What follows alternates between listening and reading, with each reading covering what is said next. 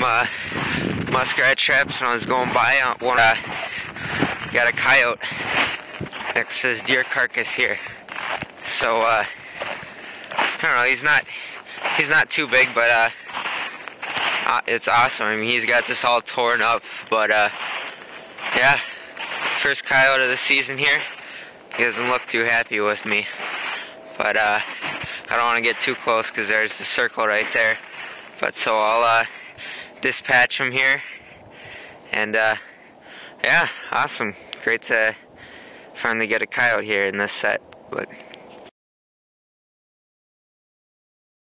Uh, dispatched here.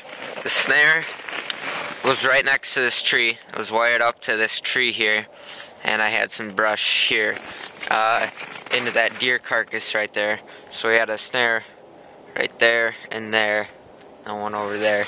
But uh, he got in there, and he's got it pretty torn up. But uh, the snare held him here. I just dispatched him there. Uh, had it staked in right there. There's the cable. He was he was chewing on it, but didn't do much.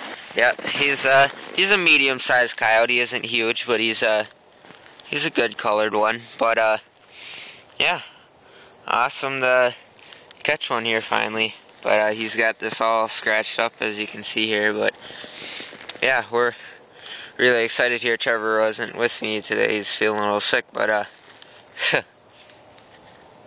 Awesome.